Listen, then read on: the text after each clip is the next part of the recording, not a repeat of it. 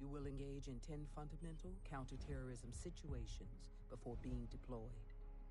Report to the SAS base in Hereford. You are to infiltrate a kill house and clear the area of enemy combatants. In close quarters combat, operators must rely on situational awareness to locate and identify threats and assets. Secure the area using a slow and methodical. Here, you will.